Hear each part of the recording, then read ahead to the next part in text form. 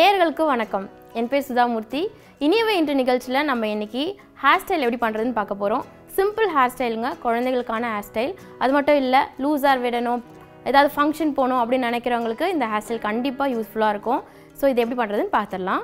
இந்த hair style பண்ணுறதுக்கு முன்னாடி ஒரு சின்ன டிப்ஸ் என்னென்னா நான் வந்து இதை எந்த ஃப்ளவர் வச்சு டெக்கரேட் பண்ண போகிறதில்ல இந்த ஹேர் ஸ்டைலை ஸோ அதனால் நான் வந்து கலர்ஃபுல்லான ஒரு ஒரு ஃபைவ் கலர்ஸில் வந்து ரவர் பேண்ட்ஸ் எடுத்திருக்கேன். ஸோ அதை வச்சு தான் நான் வந்து டெக்கரேட் பண்ண போகிறேன் அதுக்கேற்ற மாதிரி இந்த ஹேர் ஸ்டைல் இருக்க போகுது.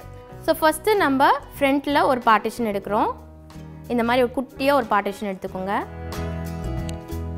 ரொம்ப சிம்பிளாக இருக்கும். குழந்தைங்களுக்கு ரொம்ப அழகாக இருக்கும். நீங்கள் ட்ரை பண்ணி பாருங்கள் ஸோ ஃபஸ்ட்டு இந்த மாதிரி ஒரு பார்ட்டிஷன் எடுத்துகிட்டு ஃபஸ்ட்டு ஒரு கலர் ரவ் பேண்ட் நான் போடுறேன்.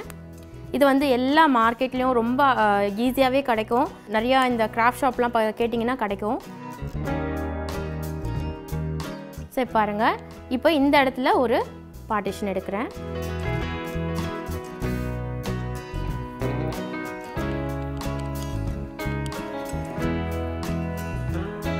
ஸோ இதுக்கு மேட்சிங்காக பக்கத்துலேயே அதே கலர் எடுக்கல வேறு ரவ் பேண்ட் எடுக்கிறேன்.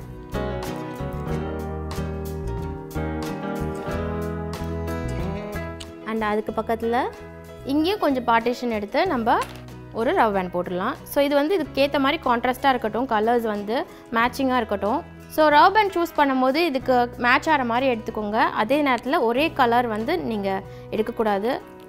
ஸோ இதில் வந்து நான் ரெட் கலர் போடுறேன். அப்படி இல்லைன்னா எல்லாத்துக்குமே வந்து பிளாக் கலரில் கூட நீங்கள் போடலாம். பட் இப்படி போட்டால் கொஞ்சம் அழகாக டெக்கரேட்டிவாக தெரியும். இப்போ இந்த சைடு எப்படி பண்ணுமோ அதே மாதிரி லெஃப்ட் சைடும் பண்ணிடலாம்.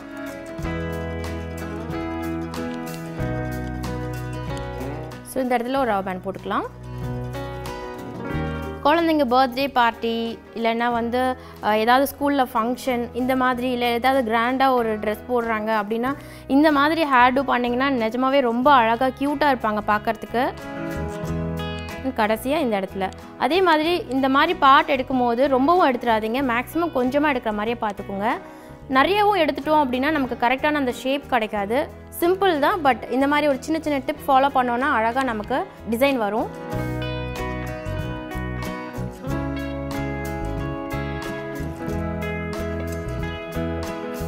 இப்போ நெக்ஸ்ட் என்ன பண்ண போகிறோன்னா இப்போ இது ரெண்டு ப்ரவ் வேன் போட்டிருக்கோம் இல்லையா?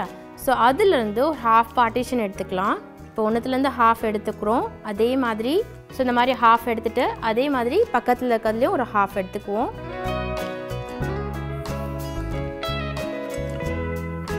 ஸோ இது ரெண்டுத்துக்கும் ஏற்ற மாதிரி கான்ட்ராஸ்ட்டாக இங்கே ஒரு கலர் கொடுக்குறேன். இது சேர்த்து ரவன் போட்டுக்கலாம்.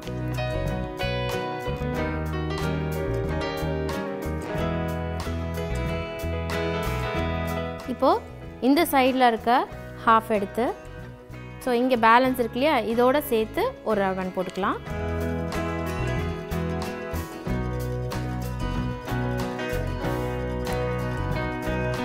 இப்போது இந்த சைடில் எடுத்துருக்கோம் இல்லையா? இதையும் வந்து ஒரு பார்ட்டிஷன் எடுத்துகிட்டு நம்ம இங்கே பேலன்ஸ் கொஞ்சம் விட்டுருக்கோம். அதுலேருந்து அதோட சேர்த்து ஒரு ரவ் போட்டுக்கலாம்.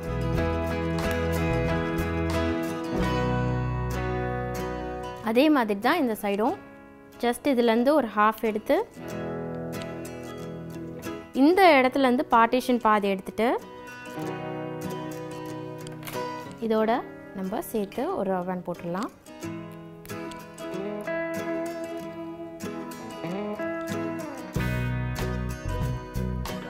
இப்போ நம்ம ஃபர்ஸ்ட் ரோ முடிச்சாச்சு. இப்போ செகண்ட் ரோவும் அதே மாதிரி தான் பண்ண போகிறோம் ஸோ உங்களோட குழந்தைங்களோட ஹேரோட லென்த்தை பொறுத்து நீங்கள் ஒன்று ரெண்டு மூணு அது மாதிரி மூணு ரோ இல்லை ஈவன் ஃபோர் ரோஸ் கூட நீங்கள் விட்டுக்கலாம்.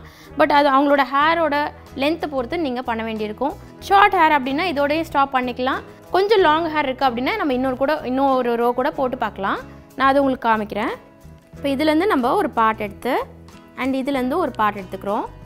நமக்கு அழகான ஒரு டைமண்ட் ஷேப் கிடைக்கும்.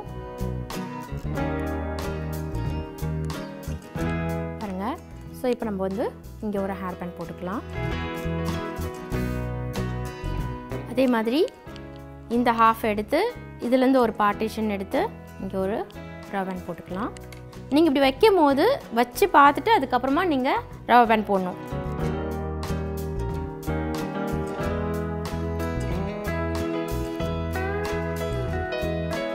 இப்போ இந்த பேலன்ஸ் எடுத்து இந்த லாஸ்ட்டில் இருக்கு இல்லையா அதில் ஒரு ரவை பேண்ட் போட்டுக்கலாம். ஸோ இப்படி வச்சு பார்க்கும்போது உங்களுக்கு தெரியும்.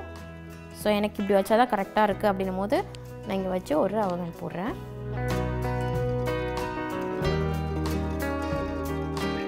ஸோ நம்ம எப்படி லெஃப்ட் சைடில் பண்ணுமோ அதே மாதிரி இப்போ ரைட் சைடில் பண்ண போகிறோம் இந்த ரெண்டு பார்ட்டிஷனும் எடுத்துகிட்டு நம்ம ஒரு ரவை பேண்ட் போட்டுக்கலாம்.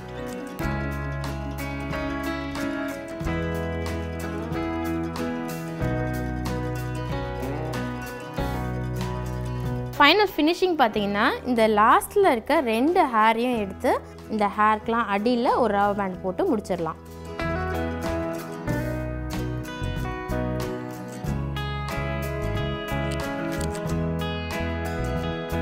பாருங்கள் எவ்வளோ அழகாக கலர்ஃபுல்லாக ஒரு டைமண்ட் ஷேப்பில் அழகான ஒரு ஹேர் ஸ்டைல் ரெடி ஆயிடுச்சு.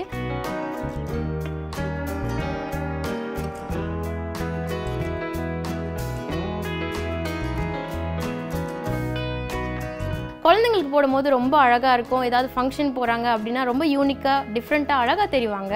அண்ட் அவங்களுக்கும் ரொம்ப பிடிக்கும். நீங்கள் ஒரு வாட்டி ட்ரை பண்ணி பாருங்கள் அண்ட் இதே மாதிரி இன்னொரு செக்மெண்ட்டில் உங்களை மீட் பண்ணுறேன் நன்றி வணக்கம்.